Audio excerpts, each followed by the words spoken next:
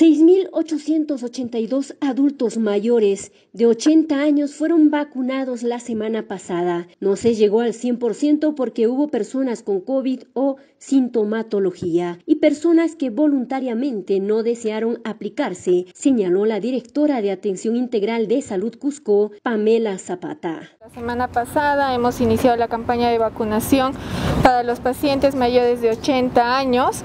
Los cuatro días de vacunación hemos tenido un total de 6.882 pacientes vacunados en nuestros ocho puntos de vacunación, sumados a lo que inicialmente realizamos este, semanas previas a los de pensión 65, el mismo grupo de edad, hemos superado el 90% de nuestra meta para los adultos mayores de 80 años en la provincia del Cusco.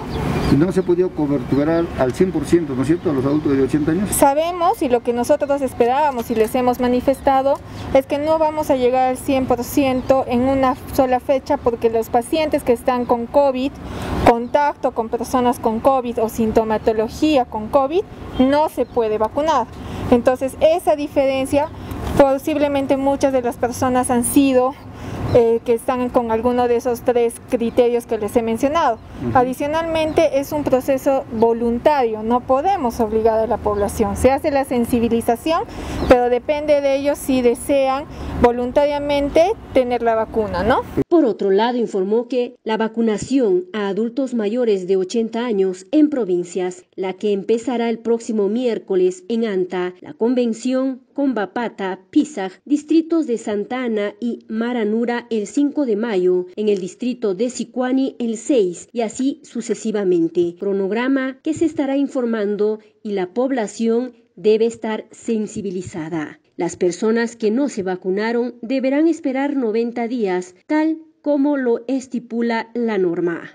Las personas que no se han vacunado si se han tenido sintomatología, los casos previos que les mencioné, la norma estipula que 90 días posteriores que recién se les pueda vacunar.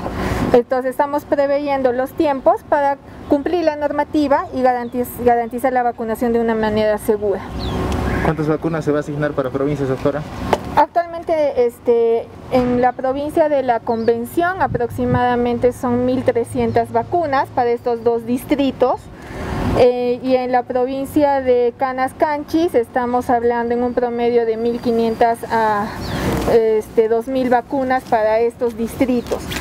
En Anta, Calca, Urbamba y Pisa estamos viendo una cantidad similar. Entonces em, estamos trabajando en base a la data de OINIEC. Eso se les va a socializar el día de hoy, los cronogramas, fechas y puntos.